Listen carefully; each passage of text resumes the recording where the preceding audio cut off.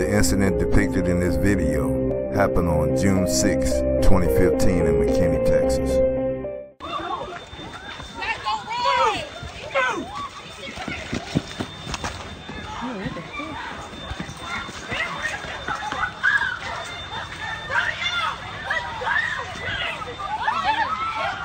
Yes, a flashlight.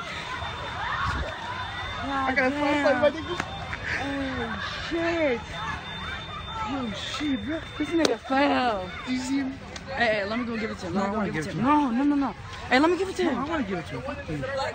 Hey, it was his. It was his. She got like a blackout No, no, no. It wasn't his. It wasn't his. It was. Oh, he is here. It was his. Grab your bag. I'm just saying, don't don't take off running when the cops get here. What's up, man? Oh, thank you. I, It was- it was some that- guy. it was that- uh, one of these. Okay, guys. guys, I appreciate. it. None of them were involved. Okay, that's what I'm saying. They're, they're It was this go. guy's. It was that guy's. Whoa, sir, get on the ground. Hold up, sir. I told you to stay. Get your asses down on the ground. On the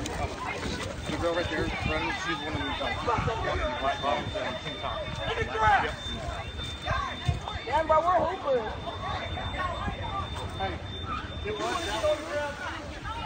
your ass out of here. These type of situations keep happening to our children because the parents don't know what to teach the children to prevent this. Oh, I wasn't even. Who is you, Georgie? You just got here, man. Hey, Cox.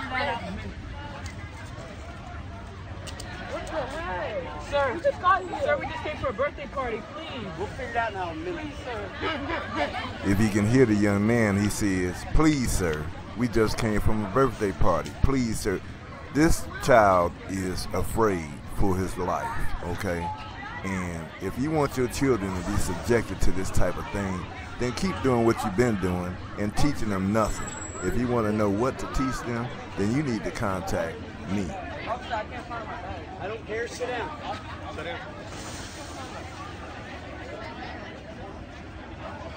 Yo, Richard, what color was it? It's navy blue. I know where it is. took off. That's evading. So right now you're staying. Y'all make me fucking run around here with 30 pounds of goddamn gear on the sun because you want to screw around out here? Y'all keep standing there and run your mouths. You're gonna go too. Get out of here. I already told you. I don't care. Leave. You're leaving now.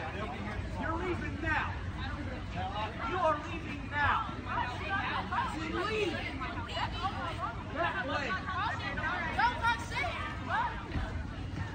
Then get your ass going. Keep running your mouth. Leave. You know what? I already told you. Yo, Jelfer, what the fuck is going on? Why is he acting so crazy? Got a girl now that he's manhandling her, throwing her to the ground on, on the concrete with a bathing suit so you know she's getting spin up. Do you want your children to be treated like this or do you want to learn what to do?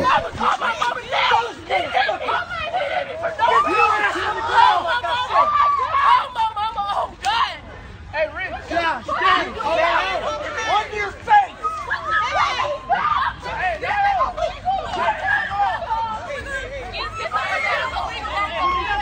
Did you notice this obese European standing in the picture? He's not the police. He's standing there as a, he should be an innocent bystander just observing what's going on so that so that justice justice can be served. But nevertheless, he's there trying to assist the police and keeping the rest of the children away from the arrest that he's making on this young girl. As police officers got both his knees in this girl's back and neck to, uh, and, and putting all of his weight on her as he's holding her there, which, which this type of activity is not necessary. You need to teach your children what to do, what not to do, and how to conduct themselves. And the only way you're going to really find out what you need to do is contact me. Now look at all the other Europeans standing around. They're not police officers. Some uh, look like a bunch of skinheads to me. Want to assist the police in arresting these young children. They're not telling them to get out of here, get the hell out of here, get your ass out of here, and all that type of stuff. They just standing around with their fat asses with their hands in their pockets. Here's another problem. So-called black guy trying to tell the young girl to be quiet and be peaceful and so forth. You know, go peacefully, so to speak. That's agreement. That means if, if she go peacefully, she she agrees to be arrested. Okay. You know, Martin Luther King and them had peaceful demonstrations, and you saw what happened to them. They got trampled by horses and, and bit by dogs and sprayed with water and all types of stuff, uh, being peaceful.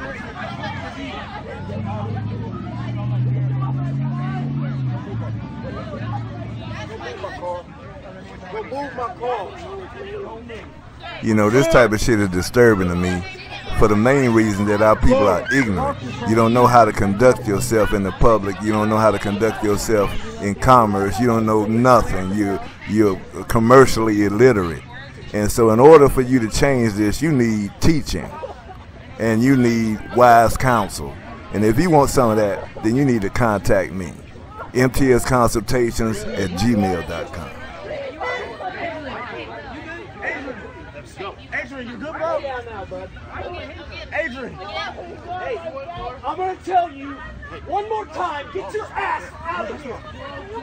Y'all get across the street. Adrian, get across the street, you're going too.